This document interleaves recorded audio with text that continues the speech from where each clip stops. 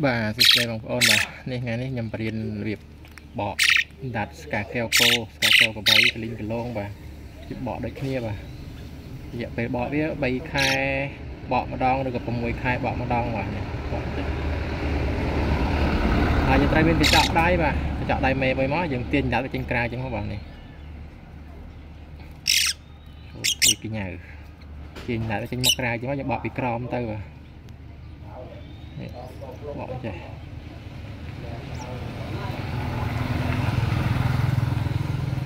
នេះបកពីក្រោមអញ្ចឹងមកនេះ